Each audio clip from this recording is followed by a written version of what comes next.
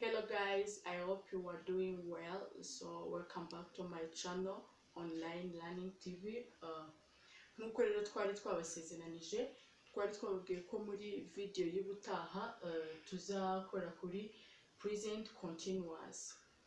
So twagarutse rero ngira ngo murabibona tugiye kwiga kuri present continuous. Ubushize twari twize kuri uh, kuri past kuri simple past. So nimba utari uhari uh, uze kujya mu yandi mavideo nakoze uh, uraza kubibona. Uh, so tugiye gutangira first of all what is present continuous uh, present continuous it defines an act that is going on at the time of speaking ni ukuvuga ngo present continuous ivuga igikorwa kiri kubaho ako kanya nyine ako kanya urimo kuvuga Uh, ndaza kugenda mbereka utugambo dukunda kujyamo nyine muri present continuous. Ni ukuvuga ngo uri gukora icyo kintu ako kanya kandi yuko wumva ko ari continuous. Continuous ni ukuvuga ngo ni ikintu nyine kiba gikomeje. Hanyuma nyine n'ubundi ikoreshwa ku kintu gikomeje eh, kandi nanone eh, so reka turebe example eh, for example hano urabona you are learning english now. Uri kwiga icyongereza nonaha. Ni ukuvuga ngo uri kukiga kandi nyine uracyakomeje no kukiga. Ntabwo uhise uhagarika kukiga. Uracyakomeje kukiga. Uh, iyo tuvuze nawe nyine wumva yuko ari ako kanya wumva yuko ari ikintu kiri kuba ako kanya. Nawe rero iri mu magambo ajya agaragaza present continuous. Nk'uko uh, nko muri simple present harimo utugambo natwo tugenda tuzamo like every day every year. Nyine ukumva ko ari ibintu na byo bigenda byirepeta nk'uko twabonye muri video y'ubushize. Hanyuma rero ubu ngubu bwo noneho hagenda hazamo utugambo nka nawe tugenda twereka ko icyo kintu kiri kuba nonaha hanyuma ariko nanone present continuous nanone ishobora no gukoreshwa noneho uri kuvuga n'ikintu utari gukora nonaha uri guhakana ko icyo kintu utari kugikora nonaha for example you see here you are not swimming now. Ntabwo uri koga nonaha. Urumva ko nyine cyo ni ikintu utarimo gukora.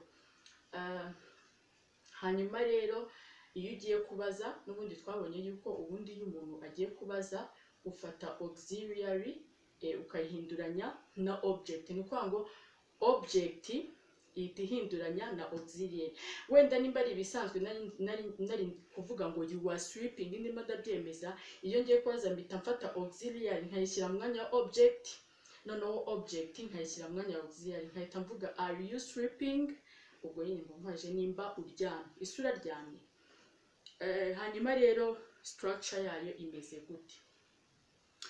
Ah, ukuntu yubatse cyangwa se formule ya present continuous eh, nk'uko mubibona hano ufata subject cyangwa se ruhamwa ah, ugateranyaho ubundi hano kugira ngo biborohere reka nze nkwereke ukuntu bigenda.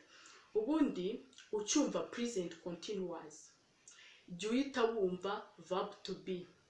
Jya uhita wumva eh, eh, ubundi hari ikintu bita auxiliary cyangwa se helping verb. Helping verb ni verb zidufasha gukora interuro runaka.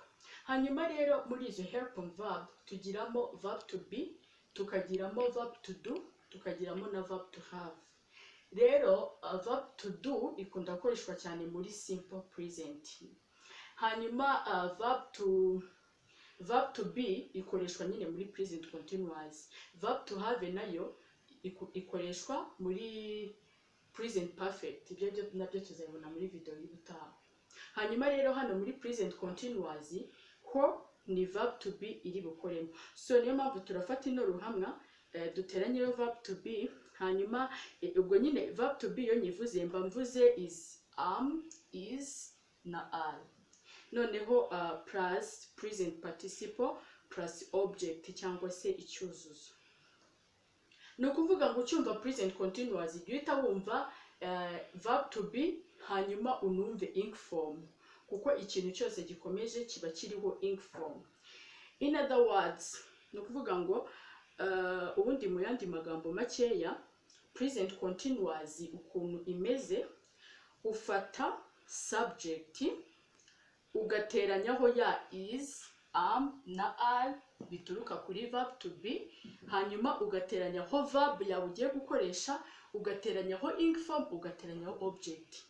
Wenda kugira ngo mbibereke neza mo hano muri zino nteruro dufite urananura bavuze ngo you are learning english now. Iyi ngiyi ni subject. Hanyuma iyi ngiyi ni ya auxiliary. Hanyuma iyi ngiyi ni ya verb yacu bituruka kuri verb to learn. Hanyuma rero twongereho ing form. Noneho duteranyaho eh, ya ruhamwa yacu ariyo object. Turavuga are learning english now. Eh, hanyuma rero eh, iriya verb to be nyine ngira ngo mwayibonyemo utuntu dutatu izi am na i. Rero am ikoreshwa hano kuri i.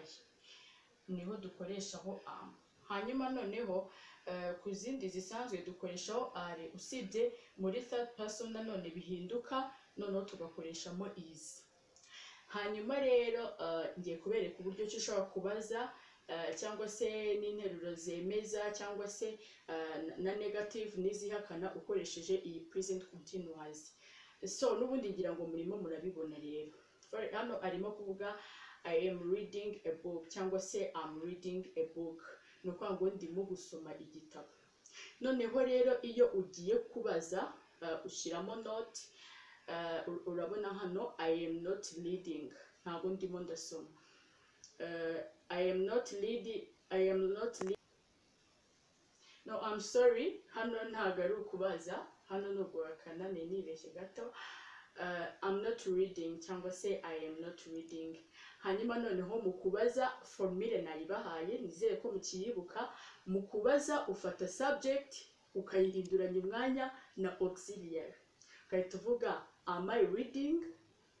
Hanyuma n'ubundi ni na zo formule rero bakomeje kugenderaho hano usibye ko hano icyo nashaka kubereka ni uko eh, ntabwo izikoreshwa nose cyangwa se am cyangwa se no bigenda bihinduka urumva muri no ngenga ya mbere y'ubuke hakoreshwaho amu hanyuma eh, izi zindi na zo eh, ha- ugakoreshaho ale no kuri za de za wi za ki. Noneho wagera muri za ngenga eshatu noneho eh, ngenga eshatu z'ubwinshi noneho cyangwa se third person ugakoreshamo izi. Ngira ngo muri kubona n'ubundi are you reading? Is he reading? Gutya niko bikoreshwa. Hanyuma ngira ngo hano muri kubona ahantu handitse common mistake ndetse na correct version. Uh, so stay, tuned on this video. Uh, rero ikindi kintu mbibutsa mukore subscribe share like eh, ku nshuti zanyu kugira na zo zibibone. Eh, rero eh, common mistake nyine urumva ni amakosa ah, nabonye abantu benshi nyine bagenda bahuriraho hanyuma noneho tukabahiza na correct version ibiri byo nyine. So hano urabona ari kuvuga they still waiting for you. Ngo ngo baracyagutegereje. Ariko bibagiyemo ya auxiliary. So correct version ni iyi ngiyi they are still waiting for you. Kubera yuko iyi ngiyi ntabwo ariyo kubera ko nta auxiliary bashyizemo. So ntabwo ari byo. Uh, ikindi they are still waiting for you. Urabona ko hano harimo akabazo ngo arimo kubaza ariko mu by'ukuri hano yibagiwe iki? Hano yibagiwe guhinduranya auxiliary na object. So are they waiting for you? Uh, hanyuma nanone uh, do they waiting for you? Rero do twabonye yuko zikoreshwa muri simple present hano rero bakoreshamo verb to be ariho haturutse ino are akaba ariyo mpamvu bari buvuge are they waiting for you. So this is not correct. Uh, and also here there is ngo uh, i'm believing you. Ngo ngo ngo ndakwizeye rero hari verb zimwe na zimwe zidakoreshwa muri present continuous. Izo verb bakaba bazita stative verb zo ziguma uko ziri rero ukahita uvuga i believe you.